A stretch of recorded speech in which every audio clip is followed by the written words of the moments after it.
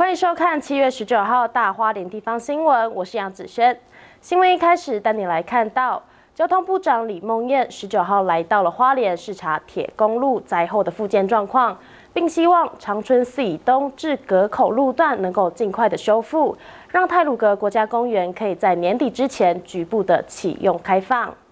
交通部长李梦燕十九号来到花莲视察铁公路灾后复建状况，除了前往中横台八线、苏花台九线及铁路北回线了解目前的工作状况，并且也到台八线一百八十三点六公里处福德池视察崩塌点边坡保护工程，和国民党立委傅昆奇、郑天才、民进党立委沈博阳也都到场关心。那今天我们来看台八中横这一段，那最重要的是，呃，希望在除了六处的边坡。呃，要在年底来完成，那我们也请这个公路局呃跟国家公园这边来赶办哈。那希望在年底前长春池以东的部分，那能够呃包括修复，包括更安全，还有包括油气设施都能够来修复完成。那能够在年底前呃针对整个泰鲁格国家公园呃能够有局部的开放，好，那对呃花莲的观光呃能够呃有所帮助。那未来呃沿线还会有四处的明隧道。好，那这个部分呃需要大概两年的时间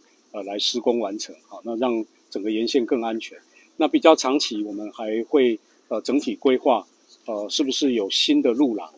啊新的路廊，包括以隧道的方式，啊以高架桥的方式的方来形成哈。台铁方面在落实告警监视器也做出强化，在七月二十二号之前，整个花莲沿线会再增加二十组监视器，并有专人二十四小时轮流监控。至于下周可能会面临的台风，李梦燕也要求铁公路做好万全准备，如果雨量过大，就要封路或停驶，保障大众交通安全。